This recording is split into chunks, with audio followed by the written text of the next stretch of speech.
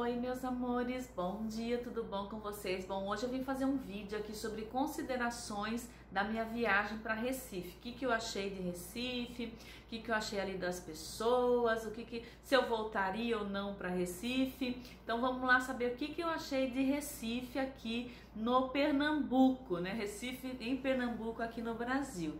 Eu tenho dificuldade de falar que os estados que a gente tá, porque o Brasil é tão grande e às vezes a gente mistura todos os estados. Então Recife é Pernambuco e Natal é Rio Grande do Norte.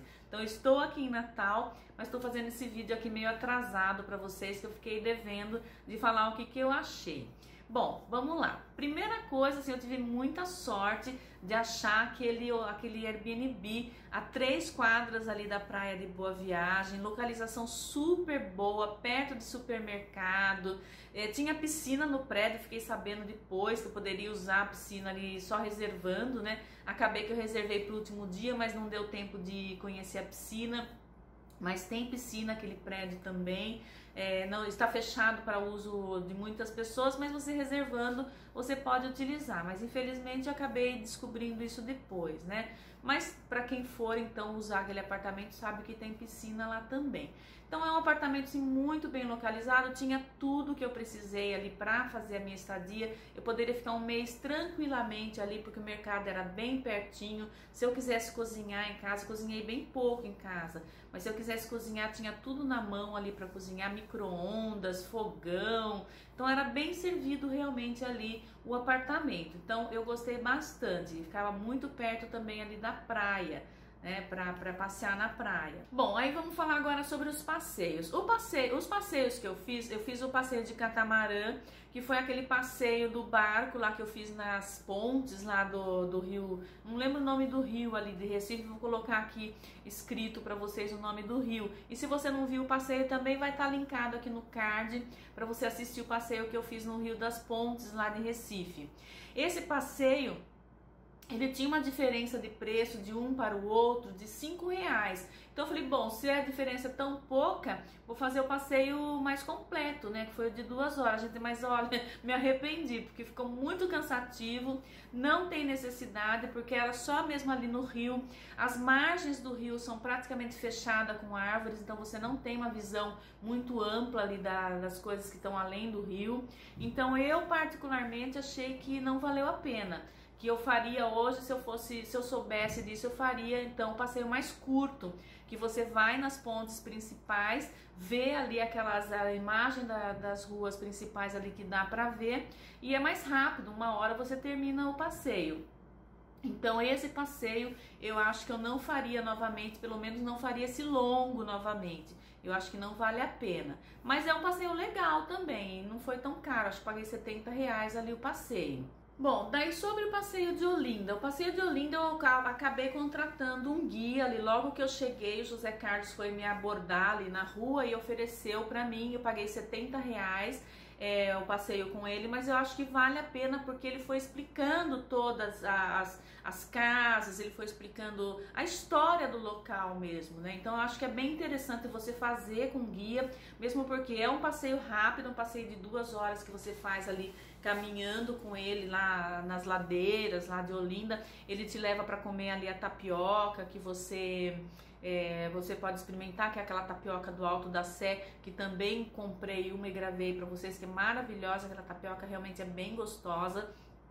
Então ele explica tudo, ele entra com você na, na, nas igrejas e fala do mosteiro que foi levado as peças para restaurar. Então ele explica tudo, gente. E ele é uma pessoa que não tem preguiça de explicar e de caminhar com você, aquele sol de 50 graus. Então eu acho que vale a pena sim contratar um guia para fazer ali pelo menos essa parte histórica aí para você conhecer. Porque se você vai sozinho, você até pode pegar ali um um folder para você ler tudo, mas é diferente. Alguém te explicando, você tem a coisa mais mastigada. Então, sim, achei, achei que valeu a pena fazer o passeio com o José Carlos, tá?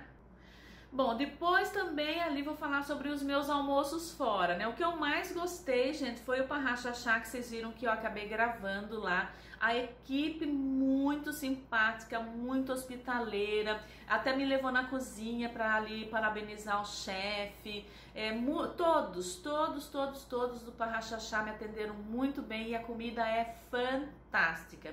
Achei que valeu a pena. É, tem aqui, se você não viu aqui o vídeo também do almoço no Parrachachá, eu gravei todo o almoço, gravei as coisas que eu peguei e o preço também. Acho que eu paguei acho que 57 reais com cerveja, com sobremesa, tudo, é, e a comida típica, né? Então eu gostei muito, achei que valeu muito a pena ter ido almoçar no Parrachachá. Gostei demais, ó, até salivo de lembrar aquela carne de sol que eu também acabei fazendo uma reprodução da carne de sol aqui em Natal. E lógico gente eu fiz assada e não ficou ficou gostosa também. Mas não ficou como aquela carne de sol deles que fica desfiando úmida desfiando. Nossa maravilhosa viu? Amei a, o meu almoço no Parrachachá Bom, sobre as comidas típicas, então, como vocês viram no, almo no almoço do Parrachachá, que eu acabei de falar, as comidas lá foram fantásticas. Daí a tapioca eu acabei comendo no Alto da Sé, a tapioca da Dona Lúcia, né?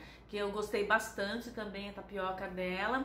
É, tapioca eu já conhecia, né? Claro, mas a tapioca feita ali com aquela forno a brasa, acho que eles fazem. Forno não, fogão a brasa, né? Que fica aquele gostinho meio de brasa na, na de carvão, meio de assado ali na tapioca, bem gostosa, gostei bastante. O bolo de rolo preciso nem falar, que eu me atraquei com o bolo de rolo de tanto que eu comi aquele bolo de rolo. Acho que eu já engordei já quase que uns 2 quilos nessa viagem que eu fiz de Recife até aqui em Natal, né? Então o bolo de rolo foi fantástico.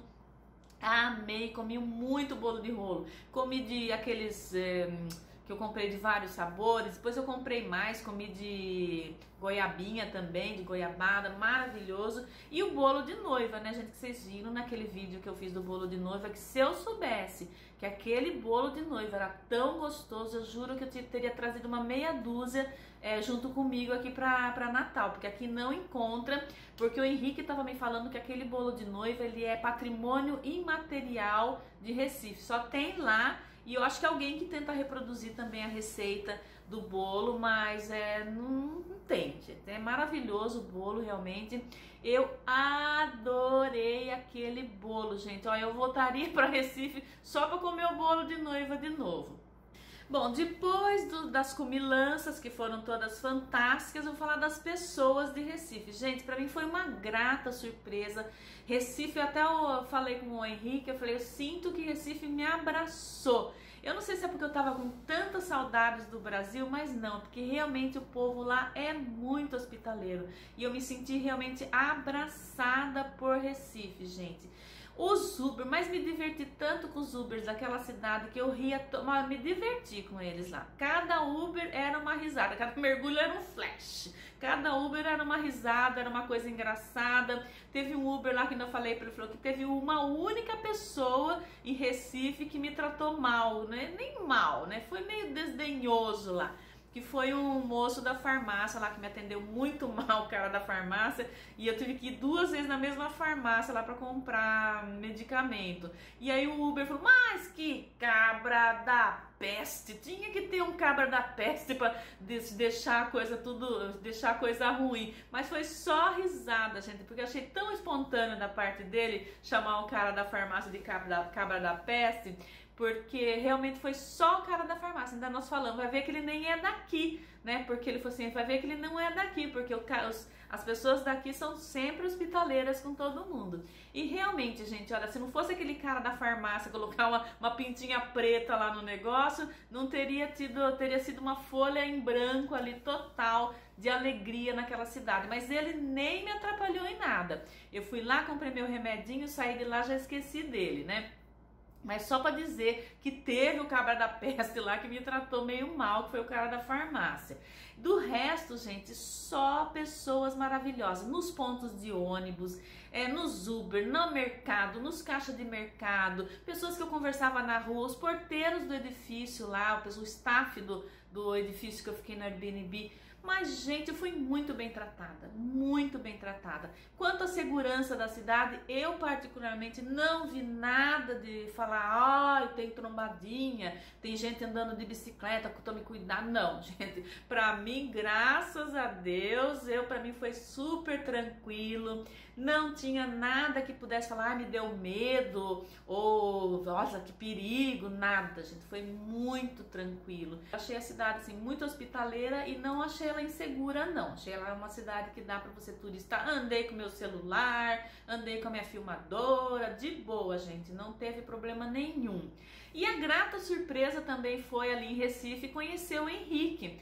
É, eu vou muito pouco, eu encontro muito pouco com os inscritos, porque geralmente quando eu posto o vídeo, ou eu já fui embora do lugar, ou não deu tempo de encontrar, ou eu tô num estado, a pessoa tá em outra, ou que nem em Portugal, ou eu tô no sul, a pessoa tá no norte. Então é difícil, acho que nós fizemos um encontro só de inscritos ali em Viseu, mas depois disso eu não encontrei mais ninguém. E encontrar com o Henrique realmente foi uma grata surpresa, foi um menino assim que ficou meu amigo. A gente se conversa quase todo dia agora ali pelo WhatsApp. Ele teve um nenezinho agora há pouco tempo, o Sebastião, que nasceu. A esposa dele ele, ele, conheceu nos Estados Unidos, mas ele foi buscar ela lá. Não lembro onde que foi mesmo a cidade da Nelly, Henrique. Coloca aqui nos comentários onde que você foi buscar a sua esposa. Ele casou lá e veio com ela para cá, para Recife. Então, para mim foi uma grata surpresa conhecer esse menino. Achei ele assim de um coração fantástico. A gente se identificou bastante. Nossas nossas histórias tem bastante coisas assim parecidas, né? De histórias que vivemos. Então a gente te, conversou que faltou tempo para conversar, que chegou a salivar a boca, ali espumar a boca, de tanto que a gente queria falar. Um queria falar mais do que o outro. Eu que quase já não gosto de falar, né? Encontra com um que também gosta e também encontrei ele que também gosta de comer, né? Então foi uma festa, gente. Então, para mim foi inesquecível essa viagem para Recife. Foi fantástica e com certeza eu voltaria. É que eu sou uma pessoa que, como eu sei que tem muitos locais para conhecer, eu não gosto de voltar no mesmo local que eu já fui, mas eu me arrependi.